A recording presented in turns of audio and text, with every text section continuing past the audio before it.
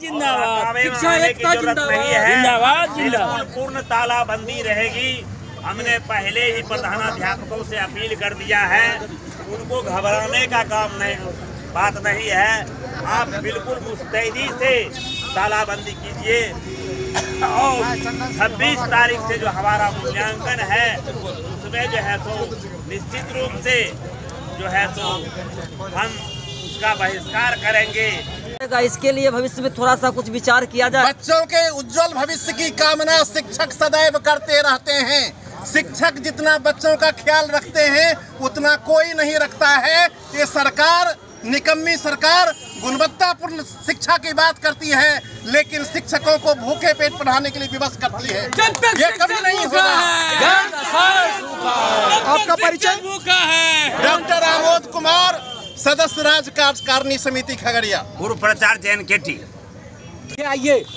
Sir आपका शुभ नाम सर? विष्णुदेव प्रसाद यादव। सर ये शिक्षक हड़ताल की जो मांगे हैं इसमें विशेष मांग आप सरकार से क्या अनुरोध कर रहे हैं? सरकार से अनुरोध कर रहे हैं कि समान काम के लिए समान वेतन के तहत सातवें वेतन आयोग की अनुशंसा के आलोक में लेवल सात और लेवल आठ का वेतनमान माध्यमिक और उच्च माध्यमिक शिक्षकों को दिया जाए। यह पहली मांग है।